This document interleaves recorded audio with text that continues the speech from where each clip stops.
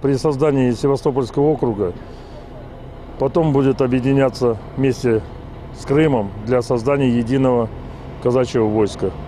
Крымского или Таврического. Здесь казаки уже решат, как правильно его назвать. Но э, на данных рубежах Российской Федерации, на границе, мы должны, конечно, выступить своим войском казачьим, которые будут нести государственную службу на границе, будут нести службу по охране общественного порядка, будут нести службу по охране лесов, морских рубежей, ну и природных всех богатств нашей Родины.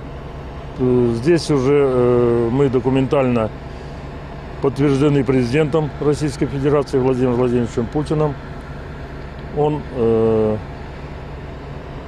разработал его правительство города совместно с э, правительством Москвы, с президентским советом по делам казачества разработали концепцию развития э, казачества до 2020 года. И в соответствии с, этим, с этими программами мы и развиваемся в городе Севастополе. Я думаю, что мы окрепнем, станем на ноги и будем достойными защитниками рубежей России. Для создания округа в Севастополе необходимо тысяча казаков и более.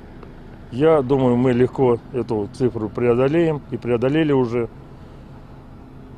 В Крыму для того, чтобы создать войско, необходимо 5 тысяч и более. Я думаю, что эта задача выполнима, и на данный момент мы легко ее решим.